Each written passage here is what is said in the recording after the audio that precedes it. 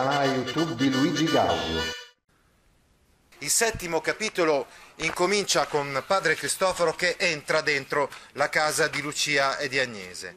Arriva nell'attitudine di un buon capitano che ha perduto la sua battaglia. Effettivamente Fra Cristoforo ha perso la battaglia con Don Rodrigo, non è riuscito a convincerlo a parole, no? Però non è scoraggiato, è afflitto ma non scoraggiato. La guerra può ancora essere vinta, diciamo così, no? E, e poi dice di, di avere tanta, tanta speranza, tanta speranza in lui, perché ha un filo della provvidenza. No, no, no, no. Dice che ha un filo della provvidenza. Noi sappiamo qual è questo filo, il vecchio servitore. E dice, Renzo, domani vieni da me in convento, che ti spiego che cosa mi dice questo, insomma, quali sono le notizie. Sì? C'è questo filo della provvidenza. E dice, Renzo, vieni da me in convento domani e ti dico, infatti, eh, il vecchio servitore ha promesso che andrà con- al convento a dire quali sono le trame, i progetti di Don Rodrigo, eccetera, e così anche lui eh, li saprà e potrà dirli a Renzo. Quando va via fra Cristoforo, però, Renzo dice, col piffero che io vado, soprattutto anche Agnese glielo dice, eh, non andare tu da Fra Cristoforo, perché, perché dai tuoi occhi Fra Cristoforo capirebbe subito che abbiamo in mente qualcos'altro da fare, no? E quindi mandiamo qualcun altro. E ad Agnese viene in mente di chiedere questa incombenza a Menico, che è un ragazzino sveglio, così come, la, come era sveglia la Bettina, vi ricordate? Lo prende eh, mentre lì sul riva, sulla riva del lago, che sta giocando a rimbalzello, cioè sta praticamente lanciando dei sassi, eh, cercando di far rimbalzare questi sassi sul, sull'acqua del lago più volte possibile, perché noi uomini siamo abituati a fare le cose che ci piace fare, che siamo bravi di fare più e più volte, e dice, senti Menico, ti do quattro parpagliole, cioè, cioè quattro soldi, insomma, eh, se poi domani vai a chiedere informazioni al convento, eh, insomma, Fra Cristoforo dovrà dirti delle cose, chiederà di Renzo, tu gli dirai Renzo non è potuto venire, vengo io al posto suo e ti farai dire qualcosa da, da Fra Cristoforo.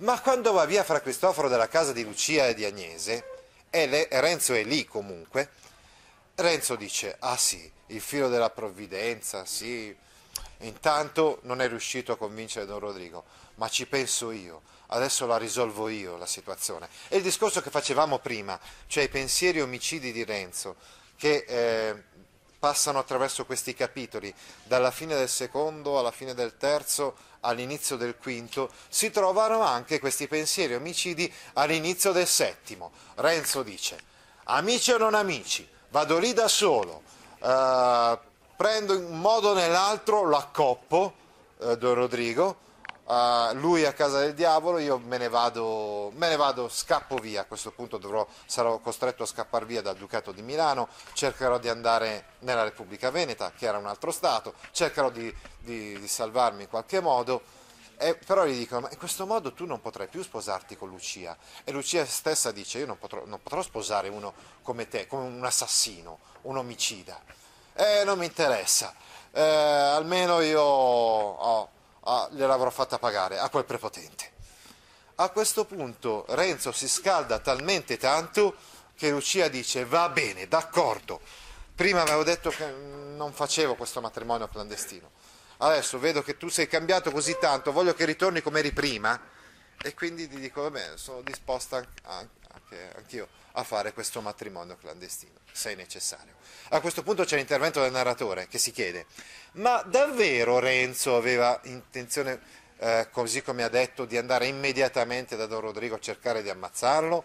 Oppure davvero Lucia era dispiaciuta di dire di sì al matrimonio clandestino, dal momento che comunque anche lei voleva sposarsi con Renzo, lascia queste domande un po' senza risposta, no? ma ci permette di riflettere sulla psicologia, in questo caso di Renzo e di Lucia, sulle cose che dicono, che magari, almeno in parte, potrebbero diverse, essere diverse rispetto a quelle che pensano veramente. A questo punto andiamo nel palazzotto di Don Rodrigo a vedere cosa è successo dopo il dialogo fra Don Rodrigo e fra Cristoforo.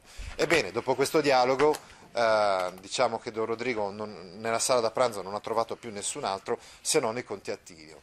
E siccome Don Rodrigo è rimasto molto turbato da quella profezia verrà un giorno, Allora il Conte Attilio lo prende in giro. Ah, il fraticello ti ha convertito, eh, ti vedo tutto pensieroso.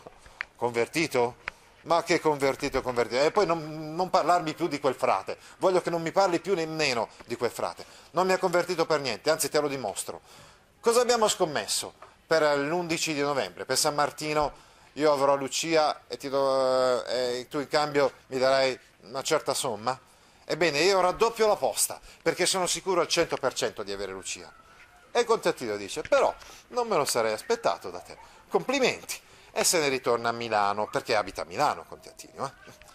Eh? E a questo punto Don Rodrigo rimane con i bravi, con il Griso in modo particolare, con il quale organizza un rapimento, il rapimento di Lucia. La scommessa la vuole vincere in questo modo, prende Lucia, la cattura e la porta alla, al suo palazzotto. Questo almeno è il suo pensiero. E organizza il rapimento appunto con il Griso. Ma c'è il vecchio servitore che sbircia anche stavolta, come aveva sbirciato, vi ricordate, dialogo, eh, durante il dialogo fra, fra Don, Don Rodrigo e fra Cristoforo, e ottiene questa informazione e va poi andrà subito il giorno seguente ad informare Fra Cristoforo della cosa. State attenti perché, perché i bravi di Don Rodrigo hanno l'intenzione di rapire Lucia e portarla al palazzotto. A questo punto arriviamo ormai quasi sulla, uh, verso la fine della giornata del 10 dicembre, no? che è la giornata eh, più decisiva, che è, ed è ancora più decisiva la serata del 10 dicembre, perché nella sera del 10 dicembre si con, eh, convergono i due progetti, quello del matrimonio clandestino da una parte e quello del rapimento di Lucia dall'altra. Per quanto riguarda il matrimonio clandestino si organizzano in questo modo.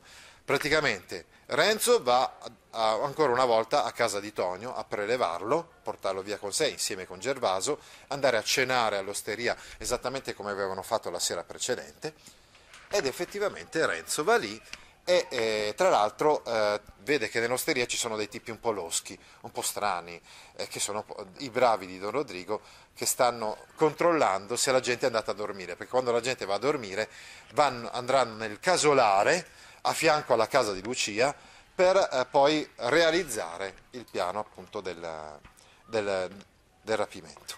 E quindi Renzo chiede all'oste, ma chi sono questi loschi figuri? E l'oste dice sono dei galantuomini perché pagano e le persone che pagano per me sono dei galantuomini.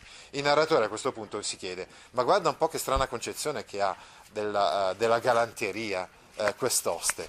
È una ironia manzoniana evidentemente questa, perché l'oste è il modello del borghese che pensa solamente ai suoi interessi, ai suoi sporchi interessi uh, commerciali e materiali e quindi è praticamente bugiardo con Renzo, perché lui sa benissimo che, chi sono quelle persone là, che sono bravi di Don Rodrigo. Avrebbe potuto dirglielo a Renzo, ma non glielo dice.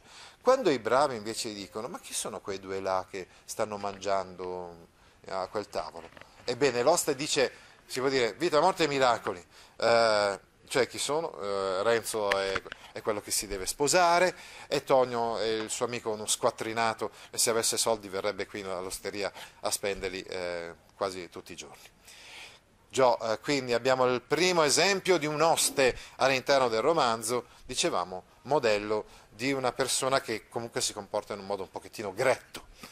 Per quanto riguarda Lucia e Agnese, hanno dovuto subire lungo tutta quanta la giornata una, un via vai di strani mendicanti che bussavano, eh, chiedevano appunto l'elemosina e poi cercavano di sbirciare dentro casa loro.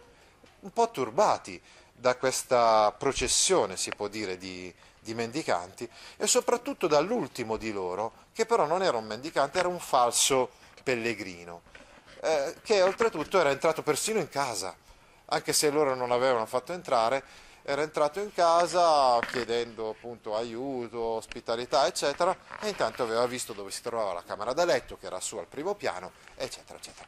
L'avevano eh, poi fatto uscire, perché insomma eh, si trattava di casa loro, ma erano rimaste molto turbate. Finalmente a mezzogiorno di quella giornata lì, il famoso venerdì 10 dicembre, termina eh, questo via vai di gente e loro si sentono un po' risollevate, ma noi sappiamo chi sono. Questo via di gente sono Griso e il falso pellegrino e i bravi falsi mendicanti che stanno cercando di capire dove si trova la camera da letto per andare a rapire Lucia Agnese poi di sera, quando andranno a dormire.